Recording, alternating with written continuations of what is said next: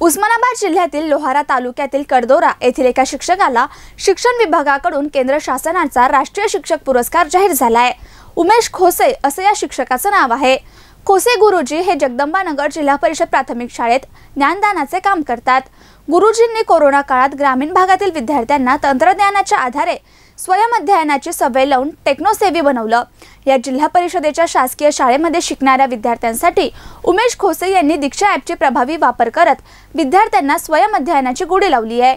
Corona काळात त्यांच्या या शाळेची वेबसाईट बनवून त्यांनी ऑनलाईन निकाल जाहीर केले.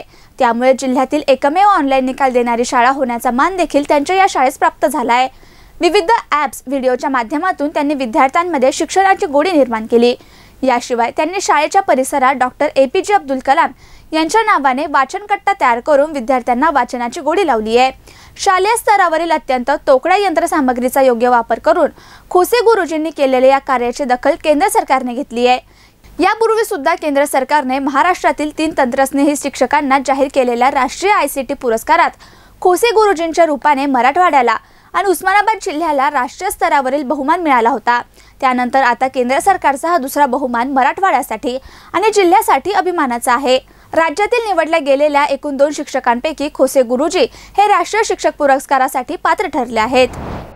ग्रामीण भागातील मुलांना आधुनिक तंत्रज्ञानाच्या सहाय्यानं शिक्षण मिळावं यासाठी जिथं मोबाईलला रेंज नव्हती तिथं मुलांना ऑफलाईन शिक्षण देता यावं यासाठी ऑफलाईन ॲप्सची निर्मिती केली.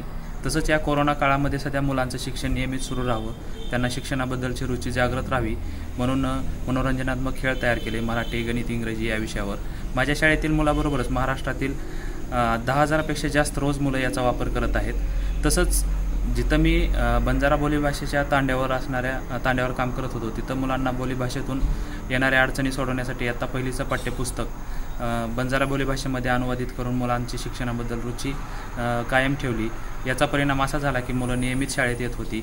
मुलं शाळेतील पटसंख्या वाढली शिक्षक संख्या वाढली केवळ पटसंख्याच वाढली नाही तर गुणवत्तेमध्ये सध्या त्याचा परिणाम वाढत गेला.